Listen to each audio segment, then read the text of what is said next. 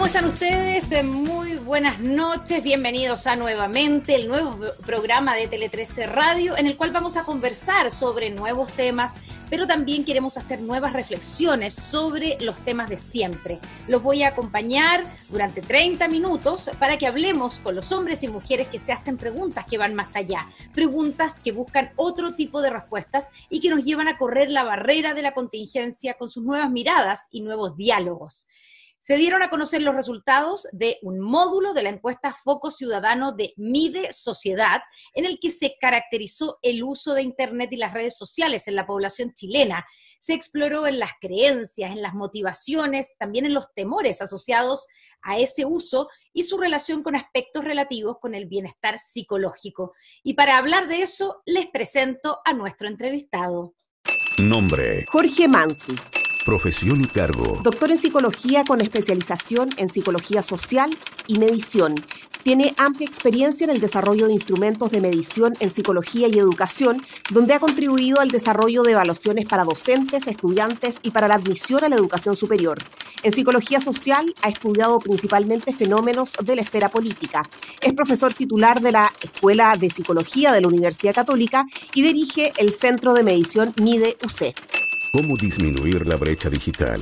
Depende principalmente de dos tipos de acciones, aquellas destinadas a favorecer el acceso equitativo de herramientas tecnológicas y por otra parte se requiere una formación continua de los escolares y ciudadanos para poder aprovechar las oportunidades de los medios tecnológicos y para poder enfrentar riesgos como las noticias falsas, la difusión de ideas conspirativas y el cyberbullying.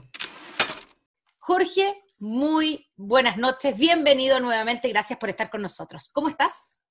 Aquí estoy muy bien, muchas gracias por invitarme, Connie. Bueno, comencemos primero eh, por, em, por eh, analizar, digamos, porque nos cuentes un poquito qué es lo que buscaban medir, o qué es lo que buscan medir, ¿cierto?, eh, con la encuesta Foco Ciudadano de Mide Sociedad. Ya vamos a hablar, ¿cierto?, de la brecha digital, pero primero, ¿cuál era el objetivo del estudio? Bueno, el objetivo del estudio, algo parecido a lo que pasa con tu programa, es tratar de explorar mediante esta herramienta que son los estudios de opinión, temas que no son típicamente parte de la agenda de los estudios de opinión que se concentran más en lo político. Nosotros nos interesa también lo político, pero nos interesa en particular poder iluminar aspectos que están preocupando a la sociedad. Y este es uno, porque ciertamente las redes sociales han eh, constituido una novedad Pensemos que hace 10 años se hizo esta película sobre la creación de Facebook, mm. que narra justamente el periodo previo en que se había eh, desarrollado esta herramienta, y eso lleva, o sea, la película es de hace 10 años, Facebook tiene menos de 20 años y es una herramienta que transformó globalmente, bueno, no solo Facebook, sino que sus empresas asociadas, esto transformó mucho de las comunicaciones y mucho del debate público hoy día está ahí. Entonces, ¿qué es lo que le pasa a los ciudadanos? Esa era nuestra preocupación con el uso de las redes sociales, qué tan extendido está, qué tan preparados estamos, cuánto temor sentimos, qué tan adictos estamos eh, a las redes. Esas son algunas de las preocupaciones, muchas. Ah. Jorge, y em, el tema de la brecha digital en Chile. Sabemos que existe, ¿cierto? Somos un país eh, que tiene una tremenda desigualdad en todo, todavía, em, y esto parece, al parecer, se extiende también, o incluso puede ser, se amplifica en el caso de la tecnología del acceso a redes sociales. ¿Se ha reducido la brecha digital en Chile o se ha aumentado? A ver, bueno, uno cuando habla de brecha tiene que pensar en distintos tipos de brecha. Hay una brecha, la más simple, es la del acceso. E incluso en esa o sea, si tengo, si tengo acceso a internet o no, y si tengo un computador o no. Es, si tengo, Claro, si tengo acceso, o sea, tengo las herramientas que me permitan acceder, y esto hoy día quiere decir o tener un celular con capacidad para conectarse a Internet, o algún otro dispositivo como un computador, un, eh, un laptop, un, eh, una tablet, etc. Ya, cuando hacemos esa pregunta, ¿cuánta gente se ha conectado a Internet? Es bien interesante. Hoy día el 90% de los chilenos de, de, todas las edades juntadas, digamos, aquí estamos hablando de todo el mundo, el 90% dice haber usado Internet. O sea, tenemos solo un 10% de nuestra sociedad que nunca lo ha usado. Eso es bien impresionante porque hace 10 años atrás ese porcentaje era mucho más alto. ¿ya? Eh, y lo interesante también es que a diferencia de muchas otras cosas donde, lo más, donde la brecha principal es socioeconómica, que aquí también existe, por cierto, porque una parte de eso es socioeconómico, pero la principal brecha es de edad. De edad, claro. Generación. o sea, cuando tú vas al grupo de mayor edad, o sea, de más de 65 años, ahí tú tienes que la mitad de ellos nunca se han conectado a Internet. Entonces, Eso, eso implica que tenemos coexist o sea, en nuestro entorno coexisten realidades muy diversas. Y ahora, del, del acceso tenemos que irnos al uso. Porque una cosa es, tener otra, la herramienta. Otro, otro tipo de brecha, ¿cierto? Son como tres, tres caracterizaciones de la brecha Claro. digital. El acceso uno, el dos es el- las formas de uso, ¿cierto? Claro. Y en las formas de uso, claro, ahí empiezan a, a ampliarse las brechas y como nosotros constatamos, están, tienen ahora que ver, por ejemplo, también con la preparación, la, forma- la educación de las personas. Personas que están más educadas en general están mejor preparadas para hacer un uso más amplio de los dispositivos.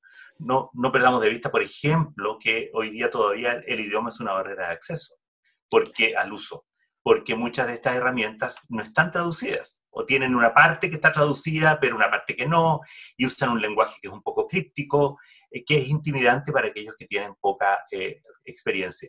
Y eso determina entonces que cuando miramos el, el uso, yo creo que vamos a llegar a ese punto en particular, nosotros encontramos gente que tiene un uso bien limitado de Internet.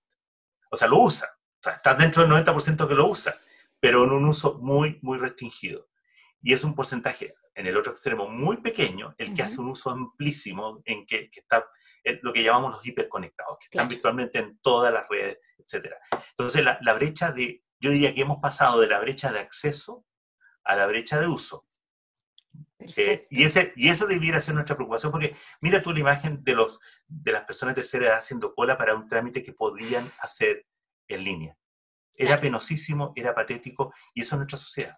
Claro, y cuando le pregunta a uno a la gente, pues uno dice, pero si usted lo puede, sac- puede sacar la clave única em, en Internet, no todo el mundo, pero muchos, la mayoría, podían sacarla por, por, eh, Internet. Eh, se podía pedir, ¿cierto?, el 10% de los fondos de las AFP por Internet y así también el, el in- el ingreso familiar de emergencia. Y claro, la gente de mayor edad te dice, "Sabe, es que, es que yo no me manejo, yo no me manejo, no tengo, algunos tienen el tema del acceso que dices tú, pero el que tiene acceso o alguien que le pudiera prestar cierto un dispositivo no sabe cómo hacerlo. Y ese es un problema de edad más que de sector socioeconómico. Absolutamente. O sea, está conectado también con lo socioeconómico, no perdamos de vista esto. Eh, es primariamente de edad y es adicionalmente socioeconómico y también hay un componente de género, porque efectivamente entre los usuarios más intensos, o sea, el usuario más intenso no hay diferencia, pero en, en el- en los usuarios más limitados de Internet se, hay una mayor concentración de mujeres. Entonces, ¿qué pasa con eso? Aquí, aquí es, es evidente que estamos hablando de herramientas que han pasado a tener o han pasado a constituir productos de primera necesidad. O sea, hasta hace poco tiempo nosotros pensábamos que todo esto era algo así como, bueno, es una forma adicional que teníamos para resolver cosas en la vida. Hoy día ya no es así. Hoy día es la forma primaria. De hecho, todo- todos los estados están diciendo que van a, van a movilizarse hacia la- el abandono del papel, el abandono de los trámites presenciales, facilitar la vida, pero eso quiere decir que en los estados entonces tienen que hacerse cargo de cómo preparan a sus ciudadanos de todas las edades para que puedan hacer eso. Y que los que desarrollan aplicaciones, desarrollen... Mira, yo me dedico a la medición. Yo tengo que pensar en cómo va a entender la pregunta la persona que está menos preparada. Y hoy día tú, ves que muchas de las herramientas que se desarrollan en Internet están pensadas en el usuario más sofisticado. Claro. Y no están imaginadas para que lo pueda eh, aplicar fácilmente alguien que no está suficientemente educado en estas herramientas. Y eso significa, Jorge, también, eh, y podemos avanzar al, al tercer tipo de brecha que se establece en la literatura, ¿cierto? Las brechas de resultados. Y de consecuencias, claro. Claro, ¿qué significan esas brechas? Bueno, que también el impacto que tienen las redes en las personas es, es distinto. Bueno, y aquí sí, ahora empezamos a ver que en las personas que tienen mayor uso y, y con un uso más variado, experimentan más el impacto que tienen las redes. Nosotros le preguntamos a las personas, de hecho, por ejemplo, si sentían que Internet estaba teniendo impacto en su vida en general, y en una parte que no está reportada en esto, pero que la, presentamos aparte, con una cápsula separadamente, le preguntamos también sobre sus relaciones de pareja. Y las personas, mira, la mitad de la gente dice que la red no tiene impacto, pero la otra mitad dice que sí. Y cuando te vas al impacto te encuentras que un porcentaje interesante, poco, poco más del 20%, dice que ha tenido un impacto ambivalente, o sea, positivo y negativo. Y negativo. Y eso quiere decir que la gente está experimentando qué cosas, por ejemplo. Ya, le pasan mejor, cosas buenas en Internet y le pasan cosas malas en Internet. La gente que más usa. Le pasa que se, tiene, tiene experiencias de comunicación, por ejemplo, positivas con su pareja, resuelve problemas con su pareja, pero experimenta molestias porque la pareja está mirando el celular mientras están conversando, ¿no es cierto? Claro. O porque... O le eh, llegan mensajes.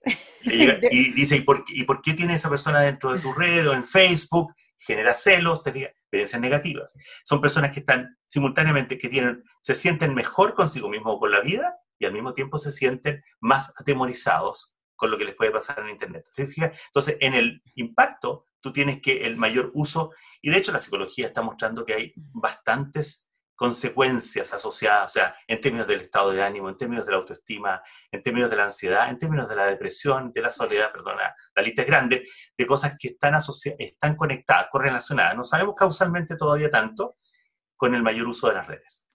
Estamos conversando con Jorge Mansi, eh, él es eh, profesor titular de la Escuela de Psicología de la Universidad Católica, dirige el Centro de Medición MIDEUC, entre varias otras cosas, y estamos hablando sobre esta encuesta Foco Ciudadano de Mide Sociedad, en el que se caracterizó el uso de Internet y las redes sociales en la población chilena. Jorge, el estudio que ustedes realizaron eh, se extendió el trabajo de campo entre el primero de septiembre del 2019 y el 13 de marzo del 2020, ¿cierto? Sí, así es. Ya, eh, ¿a quiénes, a quiénes, cómo se hizo la parte del terreno? ¿Cuál, cuál es la muestra? ¿A quiénes le preguntaron? Eh, ¿Quiénes participaron en este, en este estudio? Claro, mira, este es un estudio, debo decir que no- nunca nuestro plan fue eh, extender por tanto tiempo la encuesta. Todas las encuestas tú las planificas para poder levantar todos tus datos en más o menos un mes. Nosotros sabíamos que por partir en septiembre íbamos a seguir hasta octubre, porque septiembre es un mes con interrupciones Sí. en, en Chile. Pero vino el encuesta 18 de octubre, tal vez, ¿o no? pero vino el 18 de octubre y todo lo que eso con- significó. Entonces tuvimos, de hecho, hay momentos en que tuvimos que paralizar completamente el levantamiento. Bueno, alargó esto eh, increíblemente y vamos a completamos, casi completamos el 100% de la muestra en marzo. Felizmente habíamos logrado ya a la fecha que tú indicas, a mediados de marzo, una proporción muy, muy alta de los casos, casi, casi mil casos, entonces estábamos ok. Esto lo hacemos en centros urbanos, por supuesto que en Santiago, Antofagasta, Valparaíso, en la octava región, en Talcahuano, San Pedro de la Paz, Temuco, es decir, que son 34 comunas que son de las que, con- eh, digamos, tienen una alta proporción de la población urbana. No estamos recogiendo lo que pasa en el mundo rural, por ejemplo, y por eso estamos subestimando, si no, no podemos decir que ese 10% que nunca se ha conectado sea verdadero para todo el país, porque seguramente es más si nos eh, ampliamos a otro tipo de localidades. Y en ese, en el estudio, eh, o el análisis, ¿cierto? Permitió identificar cuatro perfiles Así es. de, en nuestros participantes. Tú dijiste, esbozaste eh, eh, algo al principio, pero hablemos de esos cuatro eh, perfiles, que son los focalizados, los funcionales, los conectados e hiperconectados. ¿Podemos hacer una caracterización de cada uno y qué, bueno, y ahí vamos analizando qué es lo que se Sí, encontró claro. en cada uno? Por cierto, Ya. ¿Los Bueno, focalizados partimos por ahí? Claro, estamos de menos a más, o sea, Ya. de menos a más intensidad y variedad de, uso. Perfecto. Ya. Ahora, hay un 10% que no está aquí, ¿no es cierto? Que es el 10% de los que no nunca se han conectado a Internet. Y Ya, que no los esto es, perder de vista. claro, esto estamos analizando el, el- el- en el fondo el 100% de los que están con, tienen algún tipo de conexión. El 100% de los que dijeron que alguna vez han usado Internet. Ahora, ¿qué pasa con estos usuarios? Estos son usuarios de Internet bastante más, llamamos, pasivos. O sea, eh, son personas que usan en realidad lo esencial de Internet para nuestra sociedad, esencial desde el punto de vista de frecuencia, es la conexión a través de mensajes de texto. O sea, WhatsApp. WhatsApp, el uso, el uso de What- WhatsApp. WhatsApp se ha transformado en una especie como de herramienta, eh, Sí. es, es casi como tener jabón, digamos, en, en la casa, ¿no? Eh, o sea, todo el mundo casi que tiene un dispositivo está en y tiene eh, instalado en WhatsApp. Pero adicionalmente, ¿qué tipo de uso le dan? Las personas dicen que leen noticias y que se informan, ¿ya? Y más o menos ahí se detiene. Las, las cosas que la gente declara con un poco de mayor frecuencia. No estamos hablando de personas que son eh, muy frecuentemente usuarios, pero lo están haciendo ocasionalmente al menos. Son personas en general un poco mayores. Aquí hay más mujeres que hombres. Hay un poco más de personas de condición socioeconómica baja que media y alta. Perfecto. O sea, gente mayor, gente más, más preponderantemente de, de nivel socioeconómico más bajo y mujeres, predominio de las mujeres. Esos son Exacto. los focalizados. Esas son las la características de, lo- de los focalizados. Ahora, si nos vamos a- al... Y eso, a ver, no, pero estos son como un cuarto de, lo- Ya, de este grupo que... 24, 24%, ¿no? 25%, casi el 25%. 24,5, claro. Ya. Después, Después vienen tenemos- los funcionales. Claro. En realidad los funcionales son parecidos, solo que en frecuencia aumentan los usos y aumenta un poco el rango de uso, porque estas son personas que además de informarse, que además de leer noticias, declaran que, por ejemplo, eh, leen y usan más redes sociales. Por ejemplo, aquí vamos a encontrar la gente que usa, además de, de, WhatsApp, van a usar Facebook, Instagram, em, ocasionalmente alguna otra. No pero todavía, más, Instagram que Twitter, ¿cierto? Sí, no, Twitter, Twitter en general aparece, eh, es como un uso bastante más focalizado en usuarios de más alto nivel de educación eh, y, bastante más restringido. Nosotros en realidad ahí hubo una clara separación entre, digamos así, las redes populares en nuestro medio, que son claramente, bueno, WhatsApp, Facebook, eh, Instagram, eh, YouTube, también la gente la, usa con alta frecuencia, de todas las otras, donde, donde está Twitter, ¿no Snapchat, LinkedIn, etcétera, esas son bastante menos usadas. Este grupo, Jorge, estamos conversando con eh, Jorge Mansi, eh, profesor titular de la Escuela de Psicología de la Universidad Católica, dirige el Centro de Medición MIDE UC. Este grupo, los funcionarios, eh, son el grupo mayoritario, ¿cierto? 46,9%. Casi, casi la mitad, casi la mitad de nuestros encuestados están ahí. Ya, ¿y quiénes y, qué, cómo son en términos caracteres. Ya sabemos eh, cómo se relacionan, ¿cierto?, con Internet y con las redes sociales, pero son más mujeres que hombres, eh, son, ¿qué edad tienen? ¿Qué nivel socioeconómico? Ya, eh, en términos de, de, igual, que lo, igual que lo focalizado, este es un grupo donde predominan las mujeres. hay más mujeres que hombres en este sector. Es un grupo de edad intermedia. O sea, así como el grupo de los focalizados es primariamente gente de mayor edad, de hecho se concentra muy fuertemente después de los 45 años, este grupo está más distribuido, digámoslo así, entre los 25 y los 60 años. Eh, estamos hablando de una distribución un poco más equitativa. Por supuesto que muy pocos en edades mayores. Em, y educación son personas de formación entre educación media, más media que superior. O sea, estamos hablando de un sector más bien medio, un poco más concentrado en la región metropolitana que en regiones de acuerdo a nuestra distribución geográfica de las encuestas. Así que es un, este es el grupo predominante, ¿no el, más, el más grande eh, y que tiene un uso un poquito más variado que el caso de lo focalizado. Pero eso quiere decir que en conjunto, ¿no es cierto?, tenemos un porcentaje muy alto de personas que si bien se conectan, lo hacen de manera bastante restrictiva. ¿ah?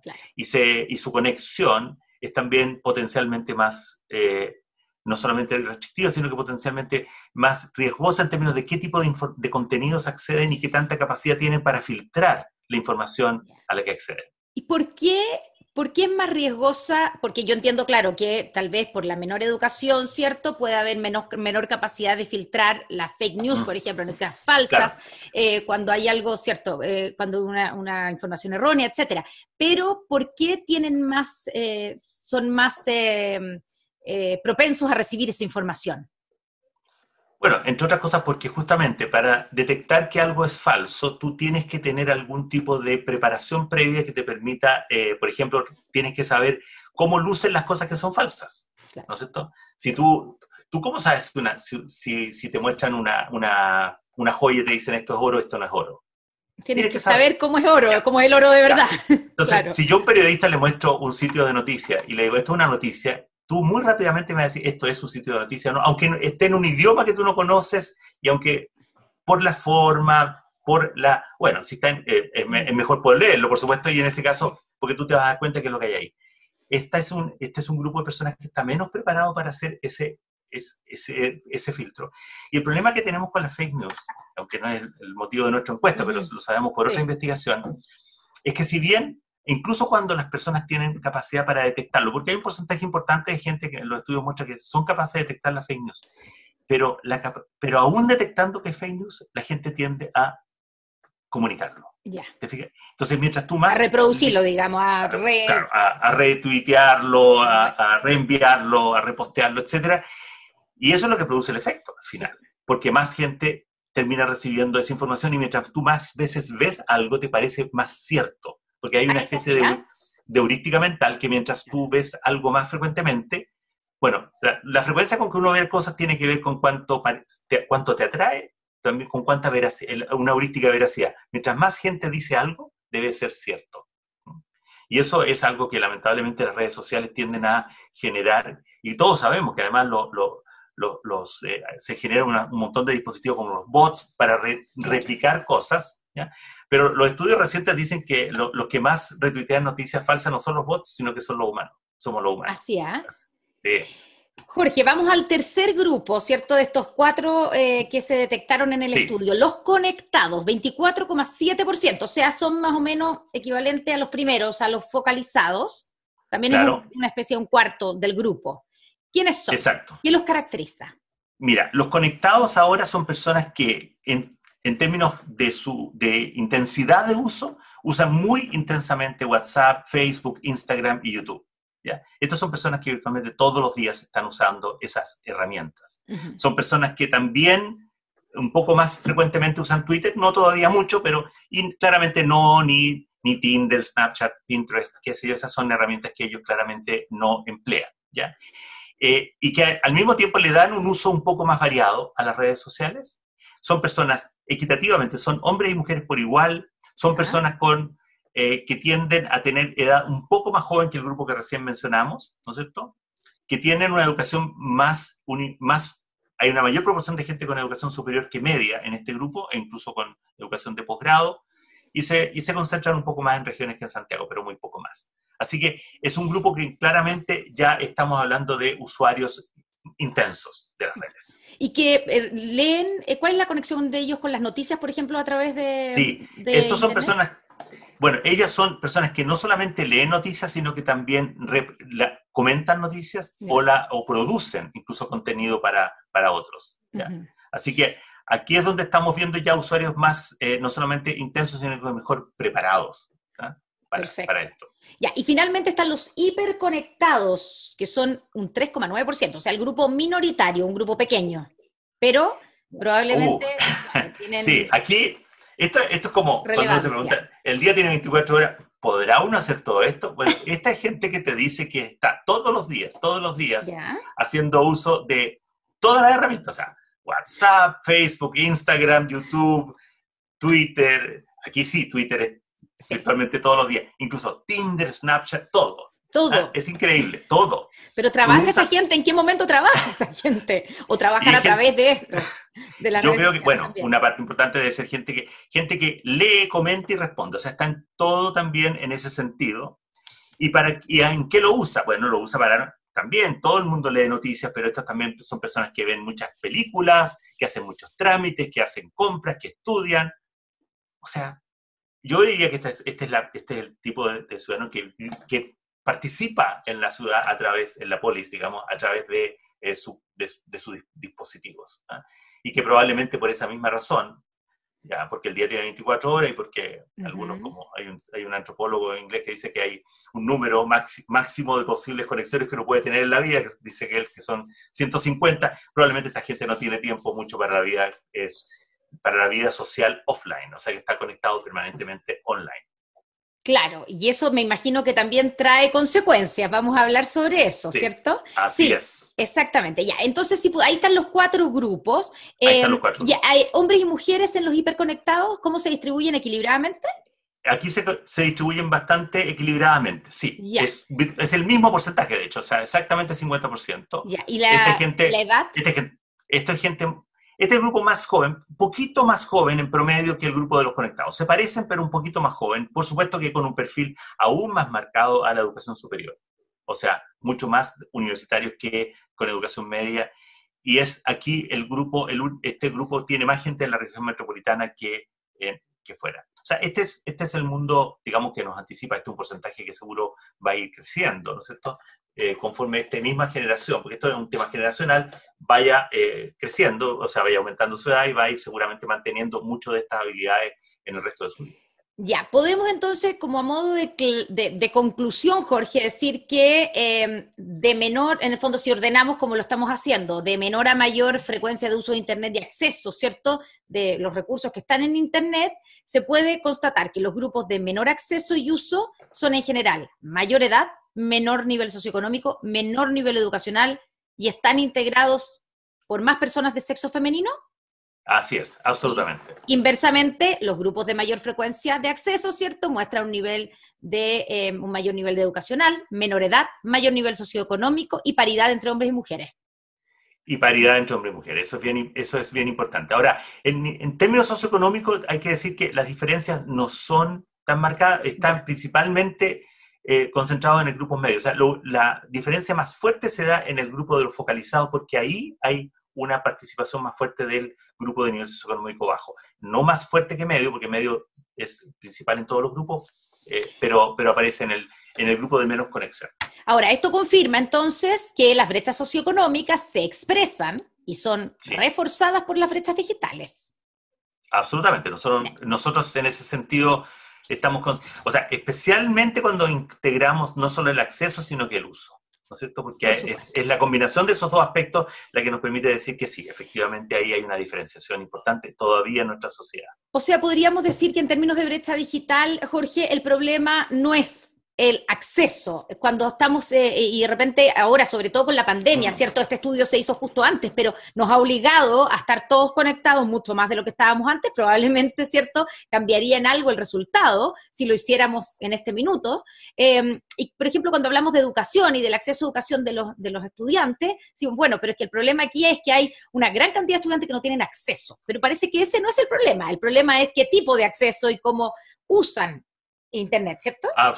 absolutamente. Bueno, yo creo que el símil con la educación es muy importante. Por ejemplo, nuestro país, como tantos otros, se preocuparon de asegurar el acceso universal a la educación.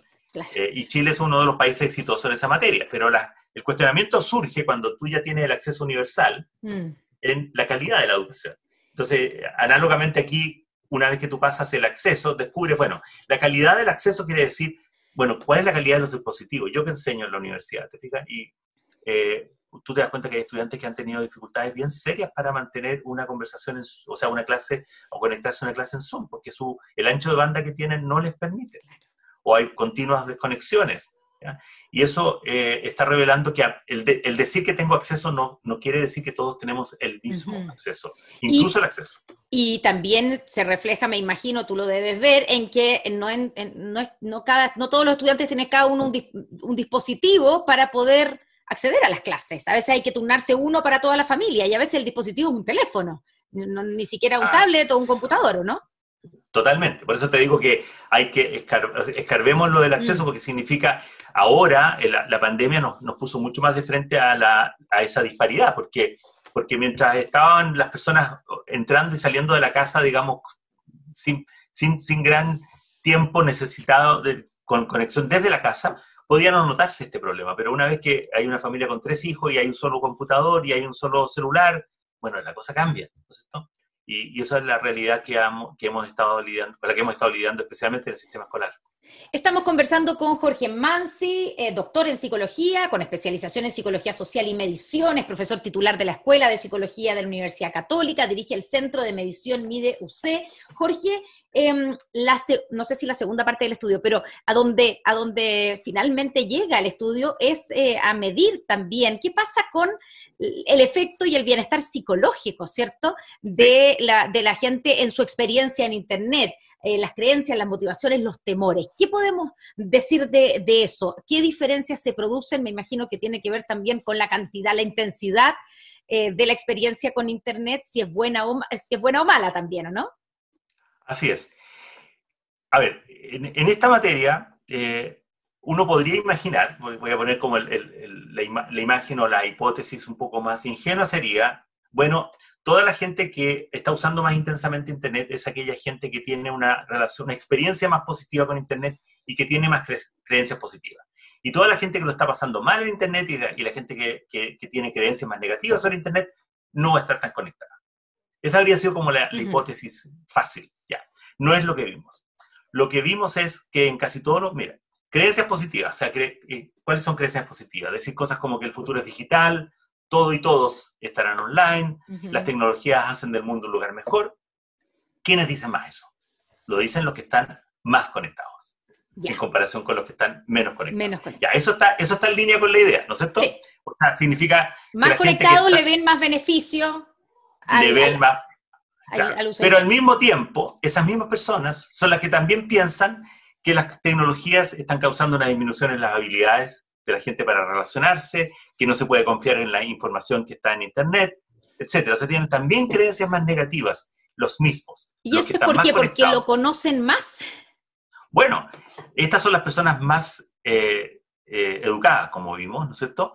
Eh, y están detectando, o sea, son capaces, se dan más cuenta, tienen más herramientas para detectar que al mismo tiempo que Internet es una maravilla porque tú tienes, estás, conversando con alguien, se te olvidó un dato y tú dices rápidamente lo voy a googlear y puedes continuar la conversación sin problema, te informas, te, te, entretienes, te diviertes, pero te encuentras con cosas falsas, pero te experimenta el ciberbullying. Cada vez que tú posteas algo, alguien te toma, se, dedica, eh, te, te, lo lean. Entonces, está las dos experiencias, la experiencia positiva y la experiencia negativa. Entonces, eso es lo que está pasando. Hay una, lo que llamamos psicológicamente una ambivalencia en los usuarios más intensos. Y esa, esa ambivalencia... ¿Eso provoca también, se traduce en temores? y en temores, por supuesto, o sea, los temores que todos conocemos, a ser tratado de manera hiriente o desagradable en las redes, estar expuesto a un contenido que uno preferiría no, no estar expuesto, que te puedan robar la identidad digital, ¿no es cierto? Que tus datos puedan ser utilizados por otros. ¿Quiénes más piensan eso? De nuevo, los más intensos, los usuarios más intensos. O sea, en el fondo es gente que lo está, que, que se da cuenta que necesite, que quiere usar la red, pero está más consciente de que está en, incurriendo en riesgos al hacerlo. Claro. Y en ese sentido, Jorge, solo para terminar, en términos de las conclusiones, em, claro, como es ambivalente es más complicado, ¿cierto? No hay un blanco y un negro, entonces es, es en el fondo, mientras más conectado, eh, eh, tengo que estar también más, de alguna manera, más eh, advertido de, de, los peligros que puedo enfrentar. Estoy pensando también en el tema del aislamiento social y, y cuán adicto soy a las redes, ¿cierto? Claro, bueno, el aislamiento es algo que, ha estado permanentemente en el tapete, como, porque de nuevo es como una hipótesis de, sentido común, ¿no es cierto? Que, bueno, ¿será que la gente compensa? O sea, la ausencia de relaciones reales, presenciales, tú la compensas a través de las relaciones virtuales, ¿no es cierto? O sea, tú puedes sentirte feliz porque tienes muchísimos, muchísimos amigos en Facebook, a pesar de que no tengas más que una o dos personas con las cuales comunicarte directamente. Eso, eso ha sido parte de una, de una discusión. Todavía no está totalmente establecido, pero efectivamente nosotros también, como muchos otros estudios, constatamos que los usuarios más intensos experimentan también mayores niveles de aislamiento social o sea, se sienten un poco más excluidos, un poco más solos, y por tanto hay una cierta sensación, una cierta, eh, digamos, evidencia con nuestros datos de un efecto compensatorio, ¿no es cierto? Y al mismo tiempo, esas mismas personas también declaran estar un poco más, eh, sentirse un poco más ansiosos cuando tienen que dejar de estar conectados, que es lo que llamamos, bueno, esto que llamamos adicción, pero ya... Eh, ¿Existe la adicción a las redes sociales o la adicción a la conexión? Es que ha sido, hay, hay, gente que la, sí, sí, está, está descrita y algunos la han, propuesto como un problema de salud mental, que podría ser, eh, o sea, suma, para sumarlo a la, a la lista de otras adicciones, como la, ludopatía, etcétera. O sea, porque estas no son adicciones basadas, en el fondo, en, la, en ingerir una sustancia, o sea, un efecto bioquímico, sino que el efecto más bien psicológico, ¿no es cierto? De sentirte incómodo cuando, como el efecto de privación psicológico, o sea, necesito la conexión. Entonces, me trato de dejar, por ejemplo, gente que dice, he, intentado dejar las redes sociales sin éxito, me pareció decir, he intentado dejar de fumar sin poder hacerlo, o dejar de, beber. Ese tipo de gente más lo experimentan los conectados y los hiperconectados. Pero hay que decir una cosa, entre esos dos grupos es súper variado. O sea, está desde gente que no dice eso a gente que lo experimenta en altísimo grado. Y entonces lo que está pasando con las redes sociales es que están en el, cuando tú aumentas el uso, tú te expones a una variedad más grande de efectos. Y ahí importa mucho tus, tus, recursos psicológicos, porque eh, varios estudios están mostrando que el, los efectos más, esto que llamamos violencia, los efectos más negativos, se concentran en personas que están, por ejemplo, que tienen mayores niveles de ansiedad o mayores niveles de depresión, ¿te fijas? Las redes sociales son una ventana muy injusta sobre la sociedad. La gente que, por ejemplo, mira un, rato Instagram o Facebook muy, y, ve las fotos que la gente postea, termina con su estado de ánimo o con su autoestima un poco degradada, por lo menos momentáneamente. Porque, todo el resto de la gente se ve mejor y todos son más felices. Todos lo están pasando tan bien, van a lugares tan entretenidos, tienen relaciones con personas tan fantásticas, porque al final es, esto es como, como una especie de, de, retoque de la foto. No es solamente retocar la foto, es retocar la vida. O sea, mm. todos estamos mostrando un lado eh, amable, simpático, y eso hace que yo me miro a mí mismo y digo, eso no me está pasando a mí. Entonces, y la comparación social, yo soy psicólogo social, es uno de los mecanismos más básicos que tenemos las, las personas para alimentar nuestra autoestima.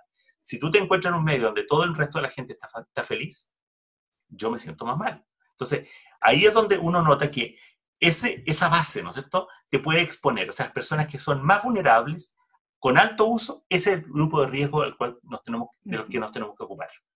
Jorge, vamos al recomendado. Si a alguien le interesa revisar más en detalle el estudio que realizaron, primero, ¿dónde lo pueden encontrar? Y si hay algún paper, algún libro que nos pueda recomendar para complementar los temas que hemos tratado durante esta media hora. A ver, yo creo que de todas maneras el, el, el, estudio lo pueden encontrar en el sitio web de Mideuce, que es www.mideuce.cl. Ahí van a poder eh, descargar el informe que nosotros eh, tenemos, que se denomina Mide Evidencias. Es un informe breve, así que nadie se asuste, no tiene que mm. leer más allá que unas poquitas páginas. Eh, tenemos también una cápsula que se refiere específicamente al tema de cómo las redes sociales son vividas en relaciones de pareja, que es algo que, no, hemos conversado mucho, pero básicamente hay que decir que los más conectados eh, en general son también personas que usan más las redes sociales para comunicarse en pareja, pero en pareja pasan cosas especiales con el uso de las redes sociales, también ambivalencia, ¿no? también les pasan cosas buenas y cosas malas a la gente en su vida en pareja en las redes sociales. Yo creo que es interesante volver a ver la película La red social, que, muestra cómo se, cómo se creó Facebook. Eh, que también este es un mundo de gente joven, o sea, el, desarrollo, las tecnologías están eh, dominadas por personas, bueno, visionarios, uno puede decir, eh, creadores, emprendedores, se usa mucho la expresión, pero que no tienen mucha conciencia de, de, los efectos que esto produce y, no han estado muy, muy dispuestos ni preparados a darse cuenta de cómo tienen que manejar los riesgos que esto conlleva. O sea, las redes sociales, con todo lo maravilloso que tienen, también nos muestran un lado oscuro. No solamente el tip Internet, sino que estoy hablando del lado oscuro para la vida social, ¿no es cierto? Que es, eh, el, eh, por ejemplo, esto del aislamiento, ¿no es cierto? La adicción, eh, pero también las noticias falsas, la, la, divulgación de tesis conspirativas. O sea, piensa tú que cuando tengamos la vacuna disponible para el COVID, en lo antes que se pueda, durante el primer semestre, ojalá del próximo año. Vamos a tener, según se estima, algo, o sea, hoy día, esto es lo que la gente dice en encuestas, como un cuarto de la gente no dispuesta a vacunarse. Claro. O sea, y cuando todos sabemos que si hay un porcentaje importante de la gente que no se vacuna, y no se vacuna por ideas que circulan sobre las vacunas más que por evidencia, la evidencia científica es súper contundente sobre las vacunas. Y eso nos va a dañar a todos. Entonces, Internet es una herramienta que, eh, bueno, tiene, como todos saben, todas las herramientas tecnológicas tienen, se pueden usar para bien y para mal, y eso es un tema sobre el cual creo que tenemos que eh, tratar de estar alertas y atentos. Jorge Mansi, muchas gracias por esta conversación, gracias por estar con nosotros en nuevamente, gracias a todos ustedes que nos siguieron a través de Instagram TV, a través también obviamente de la 103.3. Nos encontramos mañana en otro capítulo de Nuevamente. Buenas noches.